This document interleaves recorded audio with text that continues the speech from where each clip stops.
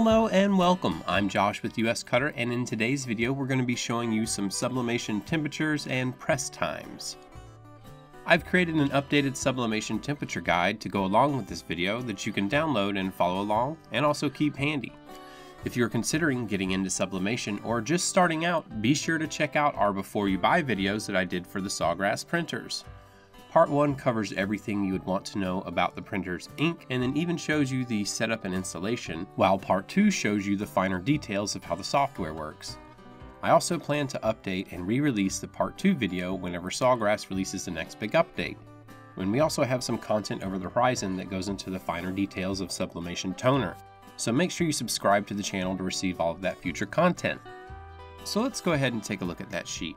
Underneath our fancy new logo, we've got a few links that you can click that'll take you to our selection of blanks and other stuff, followed by a very important disclaimer that I'll quickly read to you. The following chart should be used only as a starting place. Producing quality end products is a matter of suitable substrates, a calibrated heat press, smart color management, following manufacturer guidelines, testing, and practicing. So that's some very good information it is so valuable that I also put an asterisk next to the press time and temperature columns to hammer this point home even more.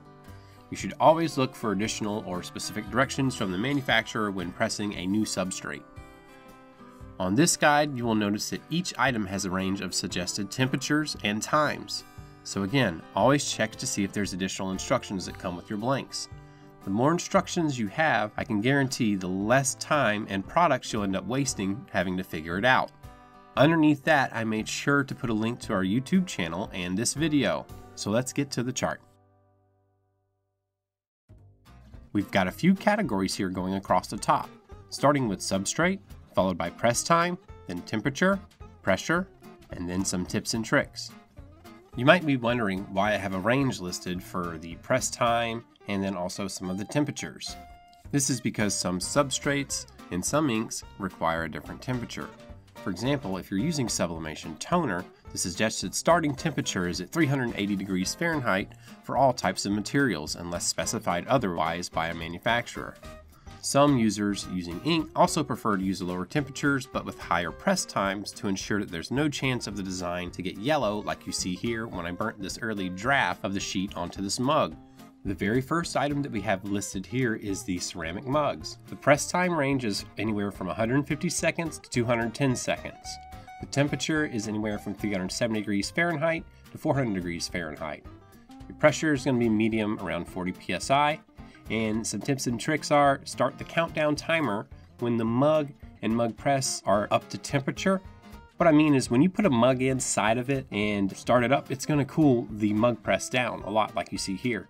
So wait until it gets up in one of these ranges. I usually wait till it gets around like 370, uh, like you see here, and then I start my countdown timer. So that is what I mean by that. And then obviously remove the transfer once the mug is cooled down. Next we have the metal substrate. And now when we're talking about metal, we're talking about flat surfaces. We're also talking about, you know, round surfaces like mugs or a cup and all colors, white, silver, stainless steel, and bronze. So this is going to be much quicker because metal conducts heat much better than ceramic does. So 60 to 80 seconds, 375 degrees to 400 degrees Fahrenheit, around 40 psi medium temperature. Heat resistant tape around the edge of the transfer is really helpful and then use a non-stick sheet when possible. That way you don't have it directly making contact with your platen. So up next we've got the ceramic and glass tiles. And this is going to be a little bit different. And you notice we've got a big time difference here. Temperature is going to be like everything else, you know, 380 degrees to 400 degrees Fahrenheit, uh, 40 psi medium. But with these, you want to be very careful. You want to press them from the back, you know, transfer side face down, like into the silicon pad.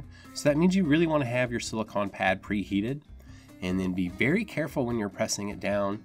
Uh, using too much pressure could cause the tile to break. Now, back to that first tip, you know, press the towel face down into the transfer.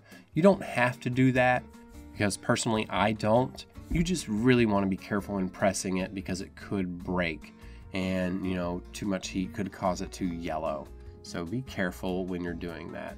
Next, you have your polyester fabric, and then we also put the mouse pads here because, you know, they're kind of covered in polyester fabric.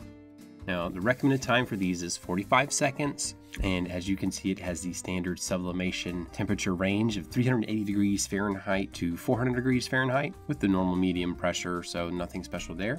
But with this, you want to look for a tighter knit and higher white point for better colors. And what they mean by that is, you know, tighter knit means you don't have uh, any like loose threads coming up because if you have a tighter knit and less loose threads, you're going to get a sharper image. That's the key to getting a sharper image on a shirt. You're not going to get as sharp as you would like say on a ceramic or metal surface. So that's why you're not going to see as many options in the Sawgrass Print Manager for just polyester fabrics. But again, please check out that before you buy video part two. Now up next is an item that I personally wanted to put on there because I received a lot of questions about how to do this one, and that's the square sequin pillowcase. We're going to press it for about 45 to 55 seconds, anywhere from 380 degrees Fahrenheit to 400 degrees Fahrenheit with medium pressure. And you want to use a pressing pillow and a non-stick sheet to get the best results here. The cloth side can also be used for sublimation, so make sure you do a design on that too. Now I'm going to skip the soft link t-shirts and the vapor apparel because they're just like doing normal polyester fabrics. We just left them on here because they're very popular on the search results. But uh, I'm going to go to the Unisub products, and these are going to be like your metallic blanks and stuff. Just want to peel off the plastic coating if there's one present, and then, you know, peel the transfer away as soon as possible.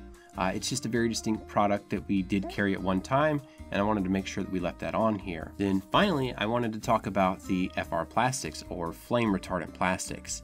Now what these are are plastics that have a higher melting point that won't melt when you heat press them around like 380 degrees to 400 degrees Fahrenheit. Basically these plastics are sublimatable because we're going to be applying a lot of heat to them. These have a lot of different instructions. Even the square sequin pillowcase uses a type of plastic like this. So that's going to be pretty much the basics for these. As you can see, this list will cover your sublimation toner as well as your sublimation ink but it's still just a starting guide. So make sure that you look into the manufacturer specifications for whatever blank that you're using.